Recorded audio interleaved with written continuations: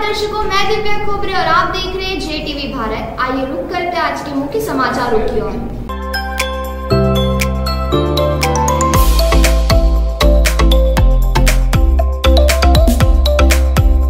मध्य प्रदेश सरकार के विकास पर्व कार्यक्रम के तहत आलोट के ग्राम मजनपुर में 30 लाख के विभिन्न विकास कार्यों का शिलान्यास पूर्व विधायक जितेंद्र गहलोत, जनपद अध्यक्ष प्रतिनिधि कालू सिंह परिहार जोगण्य माता भाजपा मंडल अध्यक्ष, शांतिलाल पाटीदार, आलोट मंडल अध्यक्ष, दिलीप सिंह डोडिया, जिला पंचायत सदस्य प्रतिनिधि रमेश मालवीय, भाजपा नेता अनिल भरावा, सांसद प्रतिनिधि जितेंद्र काला, पूर्व युवा मोर्चा अध्यक्ष युवराज सिंह यादव, सरपंच संघ अध्यक्ष राघु सिंह आदि की उपस्थिति में संपन्न हुआ।